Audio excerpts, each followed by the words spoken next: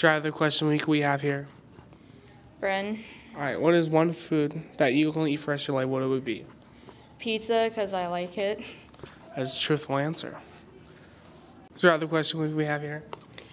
Crew, All right. If you could only eat one food for the rest of your life, what would it be and why? goulash because it's my favorite food.